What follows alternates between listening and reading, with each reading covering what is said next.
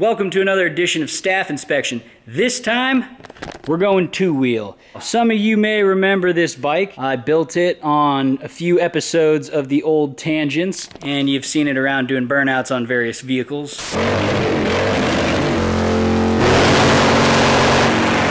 So far, everything's been rad, but like any vehicle, gotta switch stuff up. I have a problem. Uh, I can't leave things alone just like everybody else that works here. So, to catch you guys all up, what this bike originated as was a 1997 Harley Davidson FXD Super Glide. The things that we changed on the show are this S&S V111 power plant. This thing has been super sick. I've taken it on a number of long road trips and it does great. It actually gets really good gas mileage too, which is super surprising. And when you open it up, it rips. We've also installed stainless steel Fab 28 exhaust. This thing sounds amazing. It's actually relatively quiet at idle. Like it's not gonna piss off all of your neighbors to start it.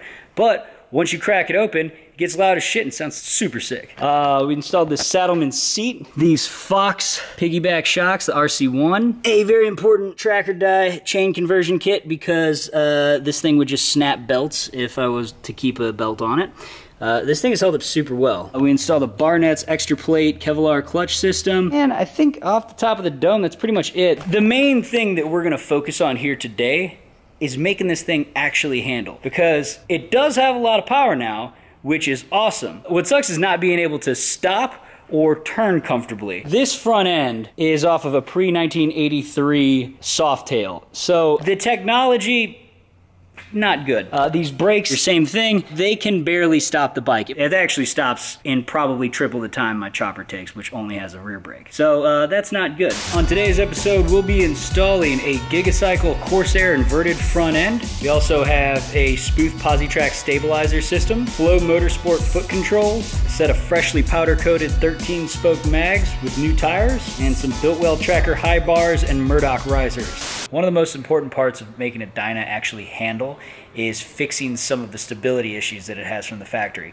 Now, this company, Sputhe, makes this Positrax system. The engine and transmission are rubber mounted to the frame, but what's worse is that the swing arm is not attached directly to the frame. It actually goes through the back of the transmission and then that is attached to the frame by a rubber mount like this. Now, the Heim joint and these two steel pieces here are the Sputhe kit. So basically what it does is it helps stop lateral movement at this rubber joint. So it allows the isolator to still do its job, but it stops it from wanting to shimmy from side to side.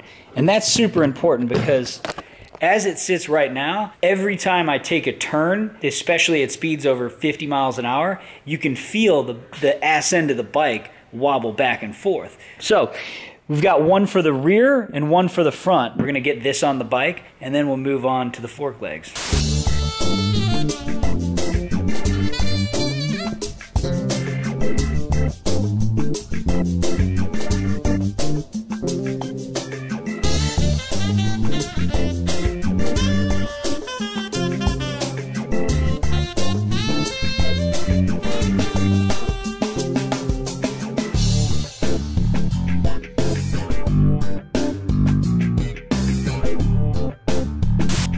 We got the new motor mounts and Positrax system installed on both the front and if you can see it back here, the rear.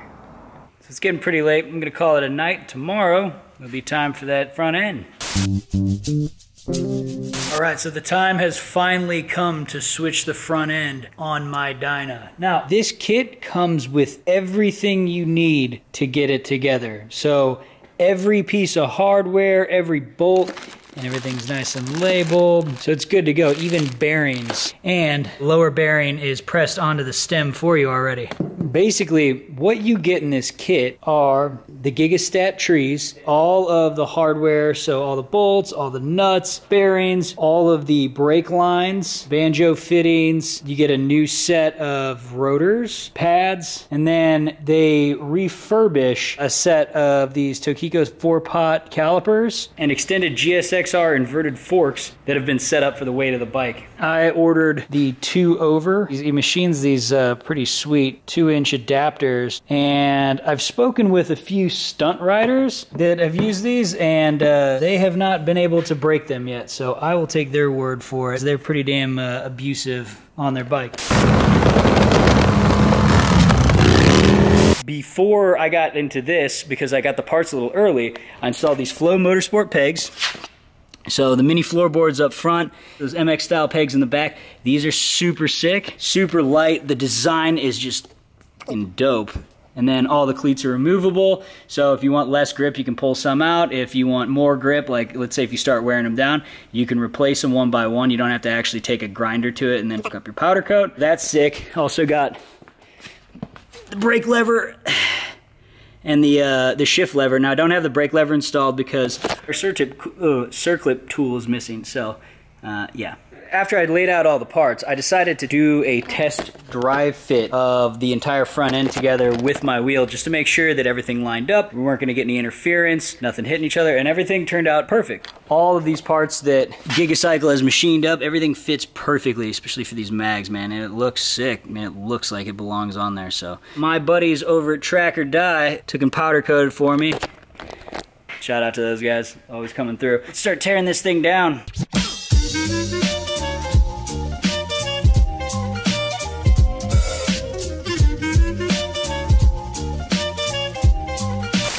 Okay.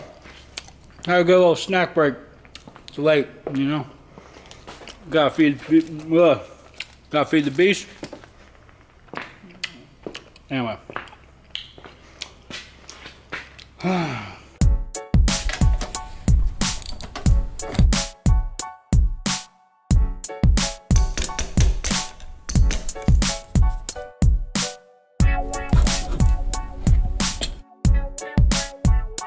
Okay, so we got the old front end off. Didn't take too long, probably 30 minutes or so, just mostly because stuff was all corroded on there.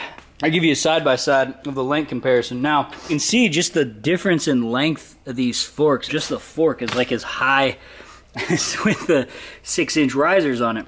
It's going to be a significant, a significant difference. The bike's going to be much lower now. This, It's going to handle a hell of a lot better. Anytime you increase the length of your front forks without modifying the frame to put the neck at the right height and rake angle, you increase the height of the bike's center of gravity. Now, this changes the trail distance, which affects the bike's handling characteristics drastically.